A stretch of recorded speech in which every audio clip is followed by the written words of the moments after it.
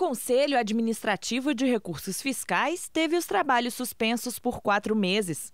Na cerimônia de reabertura dos julgamentos, Marcos Vinícius Furtado Coelho, presidente nacional da UAB, disse que a paridade de representação no órgão é fundamental para a retomada do CARF, mantendo assim a imparcialidade e o equilíbrio. Ao mesmo tempo que se protege eh, o cidadão contra abusos da fiscalização tributária, protege a pessoa física a pessoa jurídica, por outro lado também evita que a administração pública possa cometer equívocos ou levar ao judiciário equívocos, o que seria danoso.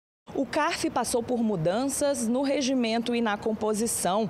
Uma das principais modificações foi articulada com a OAB em maio deste ano e proibiu que os advogados que atuam em causas privadas sejam conselheiros. Com uma nova regra, cerca de 75% dos representantes dos contribuintes saíram do conselho.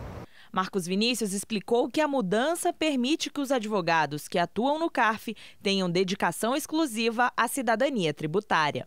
Os advogados são fundamentais. Tanto os advogados que compõem o CARF e que agora, com a novidade da presença da remuneração, se dedicarão exclusivamente ao papel de efetuar os julgamentos, dando é, celeridade aos julgamentos mais ainda, dando uma atenção específica aos casos que irão julgar. Ao falar sobre o novo regimento e a nova composição do CARF, o ministro da Fazenda, Joaquim Levi, afirmou que a transformação do Conselho se deu com a cooperação e parceria da OAB. A OAB é, é, respondeu, inclusive, à decisão, à inovação, como o senhor colocou, da remuneração. E foi absolutamente unânime no apoio a essa inovação.